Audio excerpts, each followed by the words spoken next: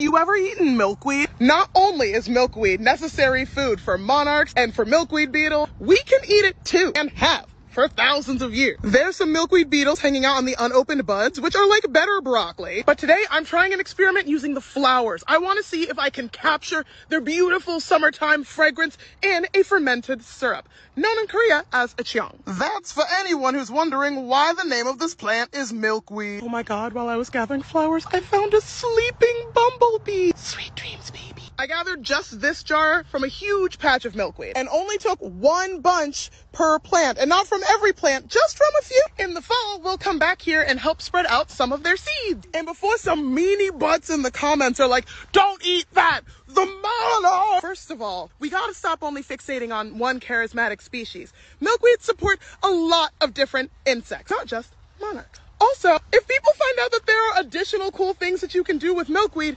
guess what? They'll be more likely to plant their areas milkweed. Do you know how many more people will plant milkweed because of your mean comment? Zero. Also, I hate to be the bearer of bad news, but no, butterfly milkweed is not one of the edible milkweed. It's also not native to my area, so I don't know what he's doing here. He belongs way further south.